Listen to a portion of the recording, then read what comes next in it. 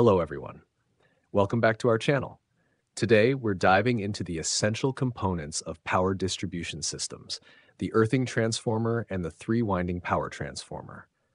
An earthing transformer, also known as a grounding transformer, provides a neutral grounding path for ungrounded systems.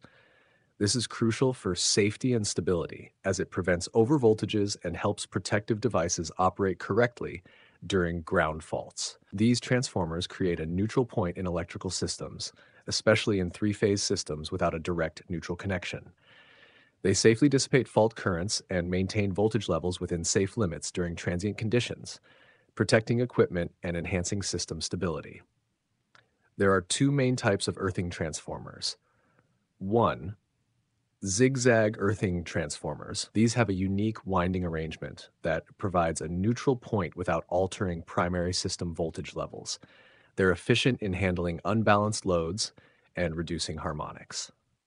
For two, Y delta earthing transformers. These transformers have primary windings in a Y configuration and secondary windings in a delta configuration, commonly used in distribution networks for grounding.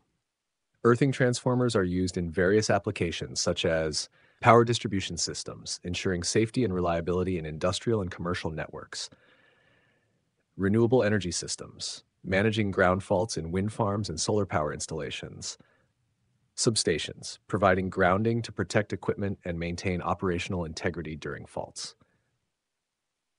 Now let's talk about three winding power transformers. These transformers are designed to handle complex power distribution systems offering flexibility and enhanced efficiency.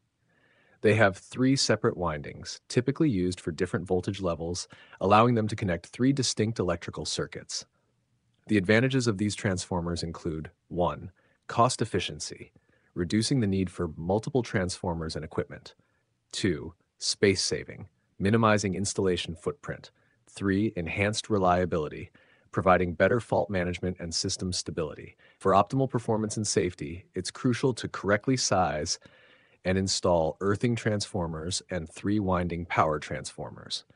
Professional guidance and adherence to industry standards are key to ensuring these components function effectively within your power distribution system.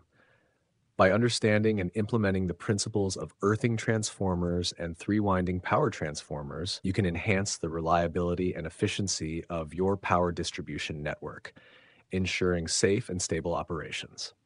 Thanks for watching. If you found this video helpful, please give it a thumbs up and subscribe to our channel for more insights into power distribution systems. See you next time.